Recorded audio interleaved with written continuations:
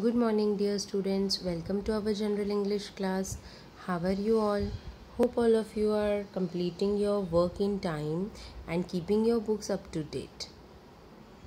Today, we will be learning about future tense as well as verbs. Okay, after completion of both this chapter, we will move ahead to English part. So, let us start with future tense.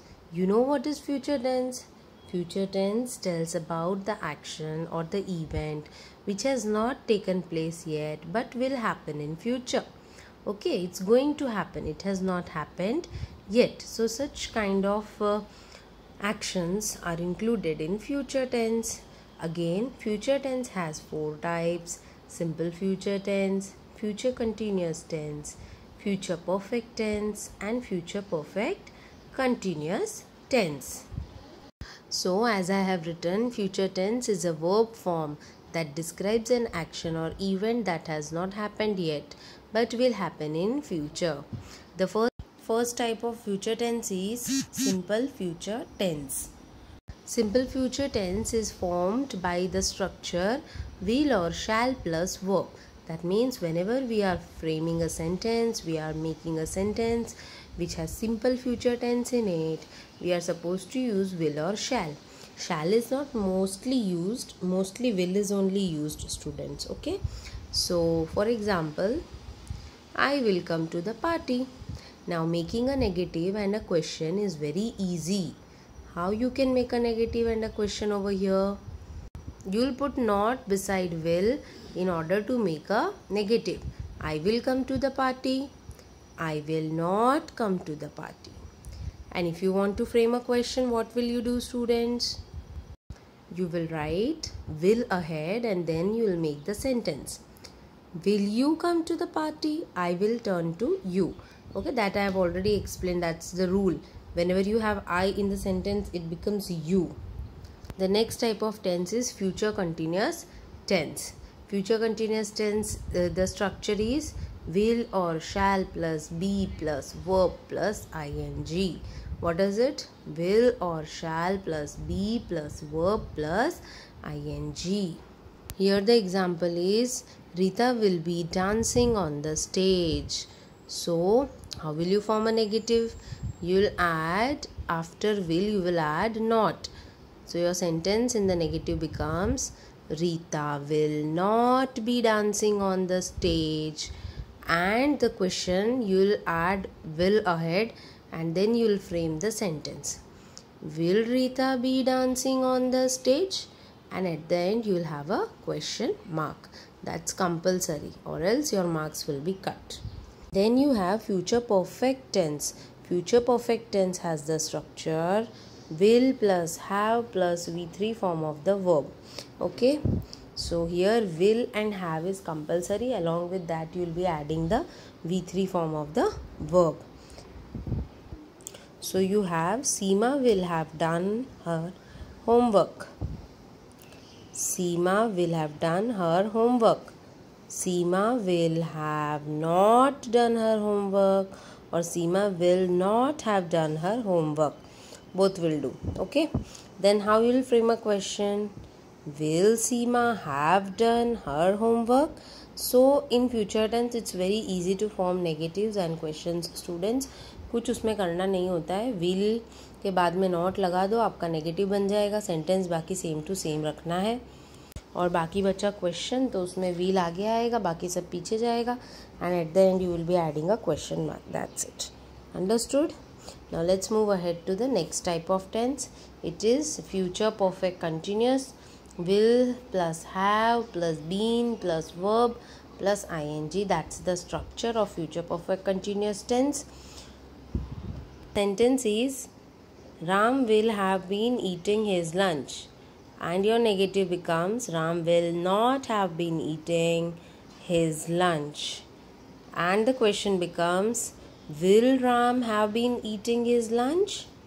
So students that's all about future tense. So you need to keep your uh, general english notebook up to date. It will be asked during checking session. Okay? Now we will move ahead to lesson number 10 that is verbs. Okay? So verb chapter we will be doing.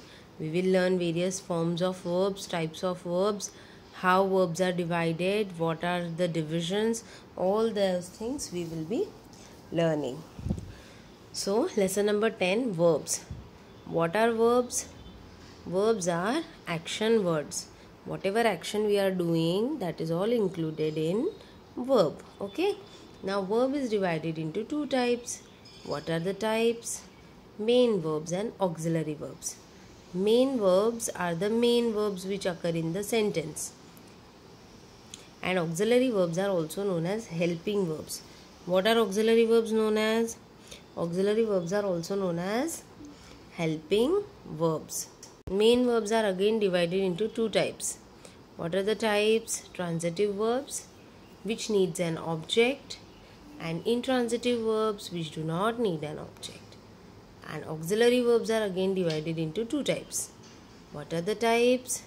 Primary verbs which act as main verb and modal auxiliaries which tell us about predictions. Okay so you need to learn this much along with that the verbs are also divided on the basis how they form the past tense okay we have regular verbs and irregular verbs Regular verbs are formed by adding d or ed to the verb and making the past tense. Irregular verbs need not add d or ed. They need to change the whole spelling of the verb. Okay.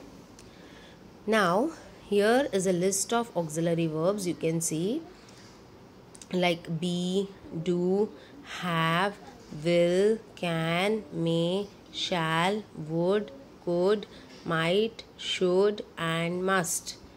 Is, am, are, was, were, has, have, had, do, does, did. All these are auxiliary verbs. Okay. You should also remember students that auxiliary verbs, all the auxiliary verbs, whichever you find, are all irregular verbs. They are all irregular verb that means their past tense is not formed by adding d or ed to the verb okay now let us move ahead to the transitive and intransitive verbs and how to identify transitive and intransitive verbs. You need to remember the important points that in a transitive verb you always need an object whereas an intransitive verb you do not need any kind of object. Okay so how you will find out whether the verb is transitive or it is intransitive? So what you'll be doing you'll first pick out the verb सबसे पहला काम हम करेंगे, सबसे पहले हम verb को ढूंढेंगे। After picking out the verb we will ask the question what okay once we ask the question what if we get a answer then it is a transitive verb and if we don't get a answer we it is intransitive verb so you can see at the example about Seema cleans the floor cleans is the verb. We have to ask the question, what to the verb? What cleans? Floor. So the answer is coming and it is not the subject जब हमें answer मिलता है तो हमें देखना है, कहीं वो सब्जेक्ट तो नहीं है। अगर सब्जेक्ट होगा तो इन ट्रांजिटिव अगर आंसर में ऑब्जेक्ट आ रहा है सब्जेक्ट के अलावा कुछ आ रहा है दैट मीन्स ऑब्जेक्ट आ रहा है then it is an transitive verb okay so in this way you will be picking out the verb and asking question in order to identify whether it is transitive or intransitive whereas in the intransitive verbs they do not have any kind of object like radhika is happy is is the verb even if we ask question we get the answer as the subject तो subject ही answer आ रहा है object तो है ही नहीं तो object जब आंसर नहीं आता है तो उसका मतलब ये है कि वो जो हमारी वर्ब है, वो ट्रांजिटिव नहीं है इन इनट्रांजिटिव है। If you get an answer rather than the subject then it is said to be transitive and if you get an answer as subject and no object then it is in intransitive for example देखो यहाँ पे second example देखते हैं। He open the door opened is the verb what opened? The answer is coming the door and the door is not the subject in the sentence. Subject क्या है? He. ठीक है? So, ये कौन सा verb हो गया? Transitive they have finished the game have finished हमारी वर्ब है. हम हैव फिनिश्ड को क्वेश्चन पूछेंगे. वॉट फिनिश्ड तो आंसर आया गेम और गेम तो सब्जेक्ट नहीं है. सब्जेक्ट तो दे है. मतलब गेम ऑब्जेक्ट है. और ऑब्जेक्ट आया तो कौन सा वर्ब होगा? Transitive similarly the last one the door opened opened हमारा वर्ब है, हमने क्वेश्चन पूछा. वॉट ओपेंड तो आंसर आया द डोर तो द डोर तो यहाँ पे क्या है? सब्जेक्ट है. ऑब्जेक्ट है क्या? नहीं. इट्स द सब्जेक्ट और अगर सब्जेक्ट आता है ऑब्जेक्ट नहीं होता तो हम क्या बोलते हैं? कौन सी वर्ब बोलते हैं स्टूडेंट्स इन ट्रांजिटिव तो थर्ड वाला जो एग्ज़ाम्पल है वो है इन transitive verb so students hope you understood this much ठीक है that's all for today do complete your books keep them up to date keep ready for checking if you have any doubts you can get it clarified that's all for today students see you all very soon till then take care keep studying